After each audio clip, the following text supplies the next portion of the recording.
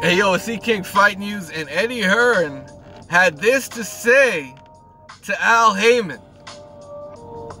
He said thank you. And, and let's get into why it's E King Fight News. We got more on this. Hey yo, back at it. Y'all know what it is, man. And, and we in here, man. So Eddie Hearn uh, publicly thanked Al Haymon uh, in, in, a recent interview with Pheno Boxing. He said, you know what? I gotta thank Al Haymon for not blocking uh, Andy Ruiz as an opponent. And it would be, he, he actually used something of um, uh, an analogy towards the Joshua Wilder fight. And he said, you know what?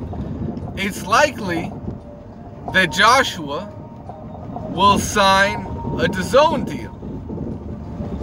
But he's going to try and keep him a free agent as long as he can in order to try and secure the Wilder fight for Undisputed. Uh, we'll see if that's true. Because honestly, if I'm DAZN, why sign Joshua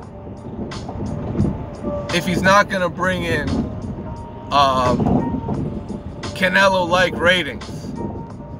Why, why even do it? You know, um, Canelo broke through in, in, there with the Danny Jacobs fight. Uh, that did pretty, pretty damn good numbers for DAZN, and they're looking to see something similar with Anthony Joshua.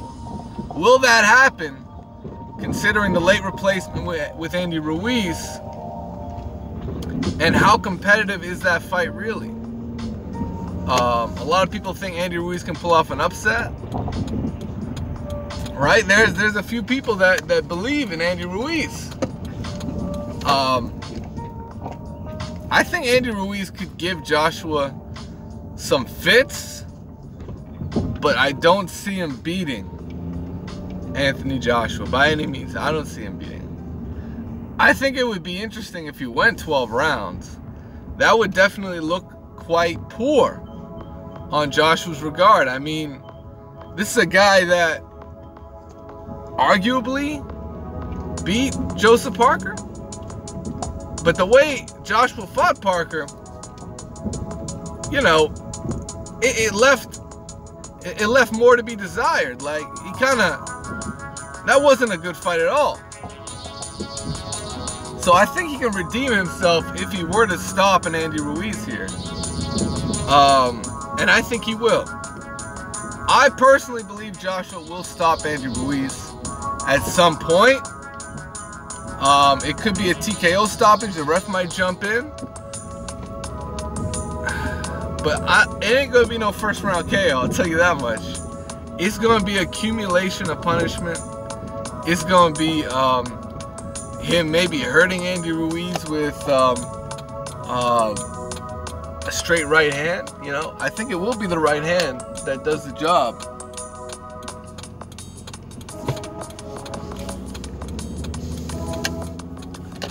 And I think he's been lucky.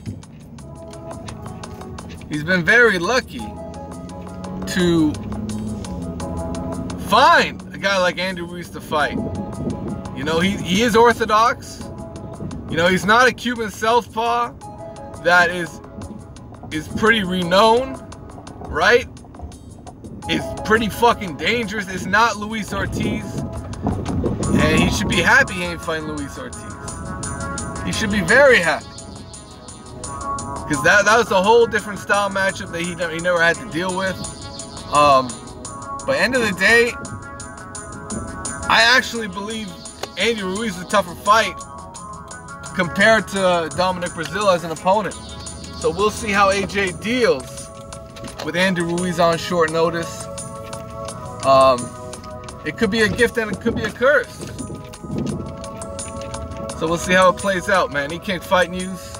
Smash the like button and subscribe to the channel and hit that bell icon. Y'all know what it is, man. E King's Fight News. And we're out, man. We're out for now, man. What y'all think, man? What y'all think about uh, Wilder? Wilder. Wilder. But that KO was magnificent, man. I gotta say, that was that was something beautiful. That knockout. Didn't have to stay up too late, you know. So it is what it is, man. E King Fight News, and we're out, man. Peace.